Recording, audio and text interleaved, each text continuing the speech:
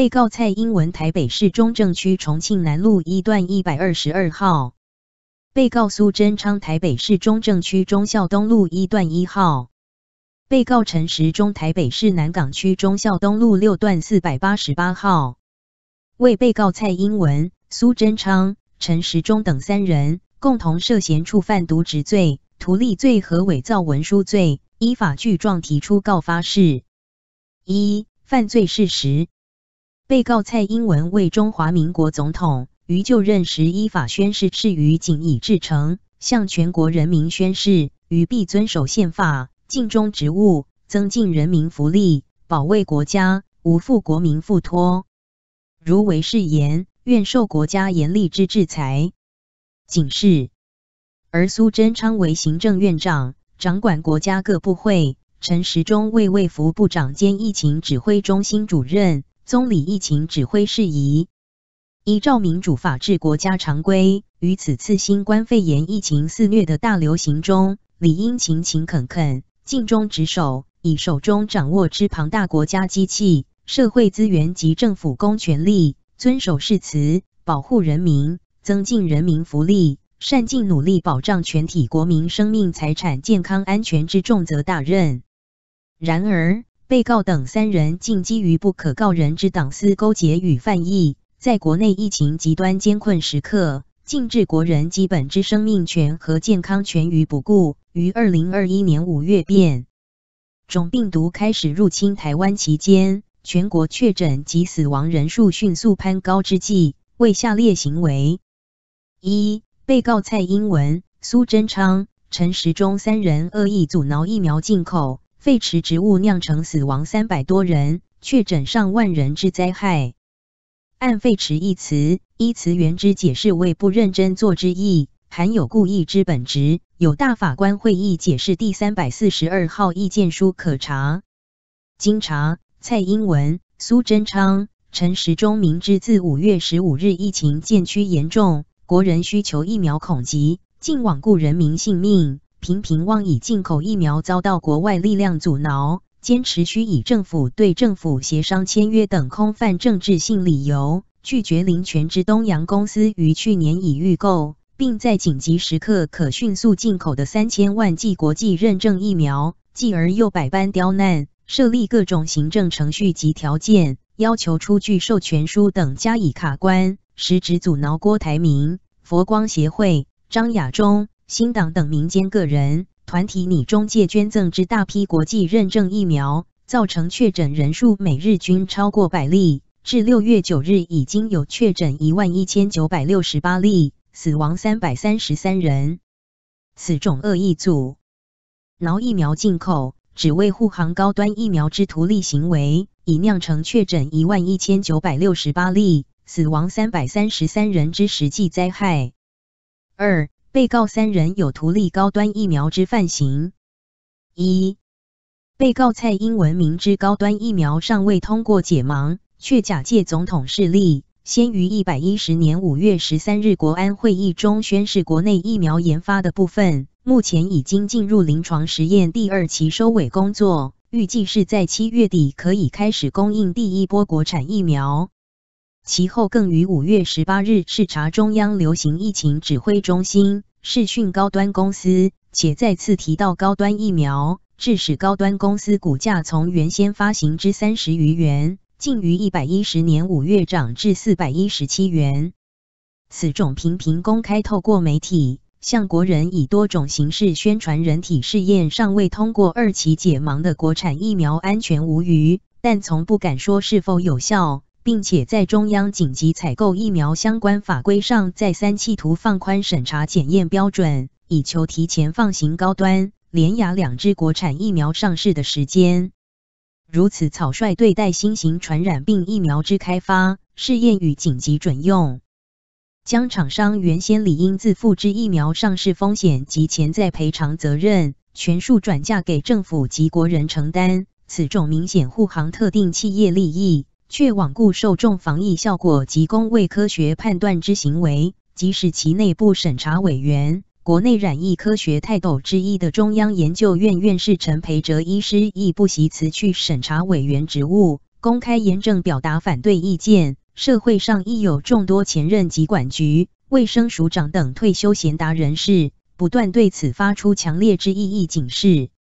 上开行为显然有图利特定人，致使其获得利益之犯罪行为。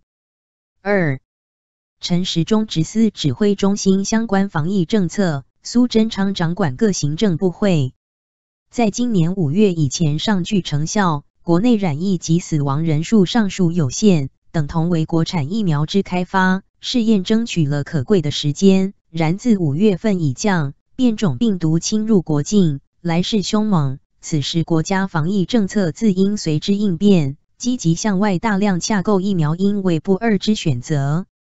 奈何渠等不此之徒，却继续坚持排除向国外紧急增购或接受捐赠。效用已经国际认证之辉瑞、BTN、莫德纳、交生、国药、科兴等疫苗，却逆向疫苗助长，以最高领导人频频喊话、明示暗喻等种种方式，企图影响审查委员会决策及后续时要署之放行。在人民众目睽睽乃至国际观瞻之前，赤裸演出蔡英文亲自口谕斜线官方接力护航的戏码。其兼并数度明显涉及配合内线交易、拉抬炒作，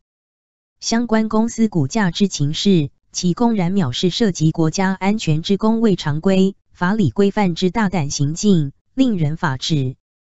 三、试想，若去年被告等没有滥用职权，恶意阻挠前行政院长林权本可购买到的三千万剂国外疫苗进来，此时全国人民早已注射过两剂疫苗。形成初步之集体免疫，自然亦不致爆发此次的五月疫情大灾难。不但全国人民不致受到这一波疫情的冲击，无辜丧失数百条人命，更不必进入三级警戒来管制人民生活，并且必须再度编列八千四百亿的二次纾困金，使国家财政再次蒙受庞大之阴影与压力。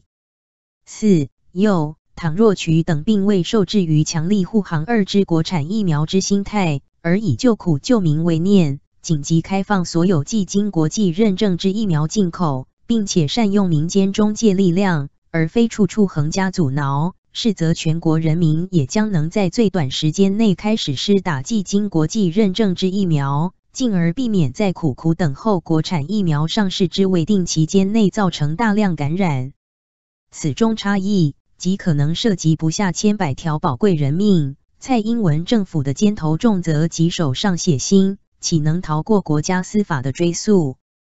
五中研院院士陈培哲于五月底请辞国产疫苗审查委员，他对媒体指出，辞职原因就是担心审查委员会难以秉持独立性，并直指最大困难就是来自蔡英文总统。台湾民意基金会董事长尤银龙更曾于公开评论中指出，五月三十一日晚间，蔡总统罕见针对国产疫苗临时召开记者会，而这一天也正好是高端股票跌停板的第一天。他强调，七月底国人可以开始注射国产疫苗。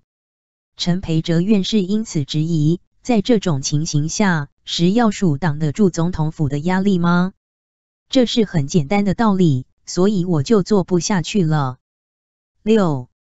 为紧急应对全球疫情扩大趋势，WHO 的紧急授权规范虽然跳过了一般药物开发所必备的动物试验过程，准许直接进入人体临床试验，但后者仍然必须经过一、二、三期试验，先后累积至少数万个样本，方足以在正式授权对广大群众施打前。确认该疫苗之基本效能、适当剂量及避免严重副作用之发生。我国食药署若擅自放宽标准，已经仅数千人之样本，威吓扭曲专家审查意见结论，草率放行而给予授权的话，不但该种国产疫苗将无法获得国际认证，使我国施打人口面临出不了国门的窘境。未来更可能出现因施打者产生严重副作用而导致巨额国赔求偿之风险。蔡英文等人届时或已下台，或已离职。若我国司法体系纵容做事此等窃国残民之重大恶行而无所作为，任令取等轻，亦规避法律刑责，亦将成为滔天共犯、神人共愤，莫此为甚。二、所犯法条及证据。按刑事诉讼法第两百四十条，不问何人之有犯罪嫌疑者，得为告发。且第两百二十八条第一项，检察官应告诉、告发自首或其他情事之有犯罪嫌疑者，应即开始侦查。告发人等仅将被告所涉法条详列如下：一、刑法第一百三十条，公务员废弛职务酿成灾害者。处三年以上十年以下有期徒刑。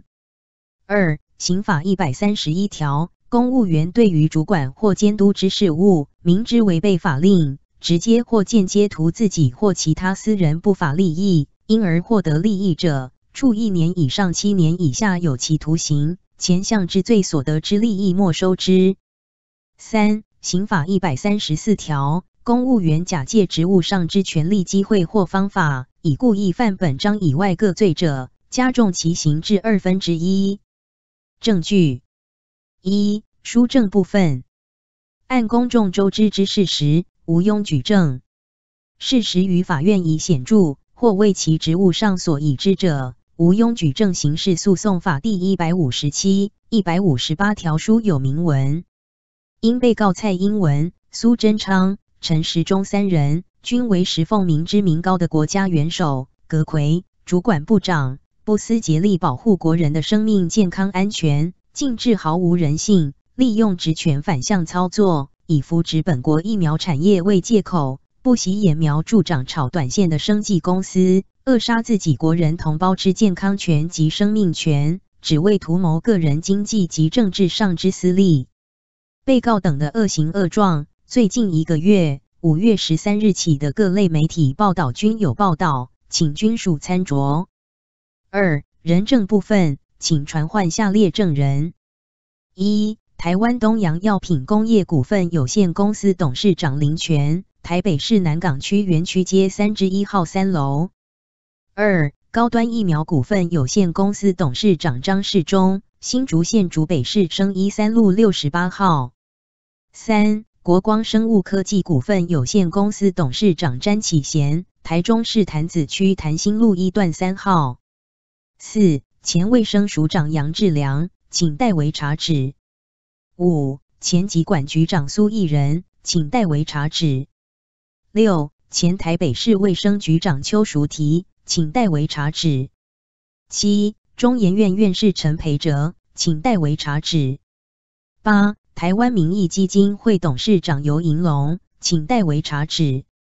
综上论述，依刑法第一百三十条、一百三十一条、一百三十四条等之规定，被告确实已经触犯各该条之罪，为图利自己或相关第三人废弛职务，更透过职权之操弄，直接、间接图利自己及相关第三人等，不惜酿成全国人民的大恐慌和大灾害。彼等恶劣行径，令人发指，恰与本条之罪构成要件相当，恳请贵属迅为依法侦办，将被告等三人提起公诉，治以应得之罪，比服法治，实感得变。警状：台湾台北地方检察署，具状人钟情等。中华民国一百一十年六月十一日。